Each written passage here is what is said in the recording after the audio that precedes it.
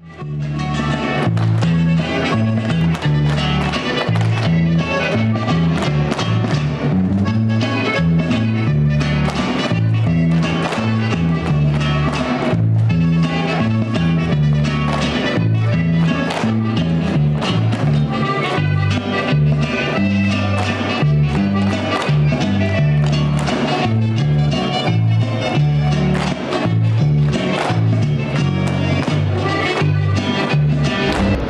19 de febrero se conmemora el Día del Ejército Mexicano, institución que se formó hace 100 años por decreto del presidente Venustiano Carranza. Para esto, la quinta zona militar con sede en Chihuahua ofreció un desayuno en la que estuvieron presentes autoridades civiles y militares. Esto fue parte del discurso en el desayuno.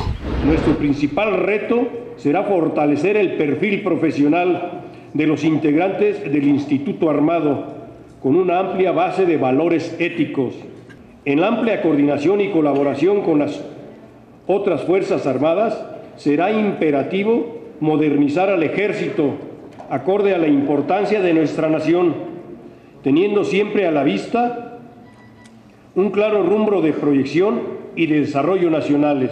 El entrenamiento y la, y la capacitación militar, tercera acción prioritaria, nos fortalece física, intelectual y anímicamente para cumplir con éxito las misiones que tenemos asignadas y afianzar nuestro sentido de pertenencia.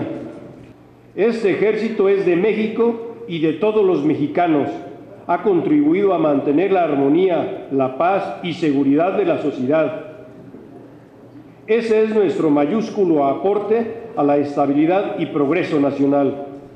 Por eso el, ejército mexicano, en esa visión popular, integrada siempre a la sociedad y pacifista, en la cual su vocación ha sido de defender la del territorio nacional, garantizar la vida de las instituciones, el régimen, eh, la viabilidad y la constitucionalidad en el ejercicio de la sociedad mexicana. En ese sentido, pues, la vigencia de las instituciones ha estado garantizada por un ejército pacifista que no se ha dedicado a establecer estrategias para eh, participar en eh, invasiones o condiciones distintas fuera de nuestras fronteras, sino ha sido un ejército con una vocación meramente eh, responsable de mantener la integridad y la soberanía nacional. Que eso esto fue parte de lo que se vivió el día de hoy aquí en la sede de la Quinta Zona Militar, en donde el gobernador del estado, César Duarte Jaques, felicitó al ejército por su primer centenario de vida y lo y le agradeció el compromiso que ha tenido con México a lo largo de su historia. Informo para TV Diario, Miguel Ángel Silva.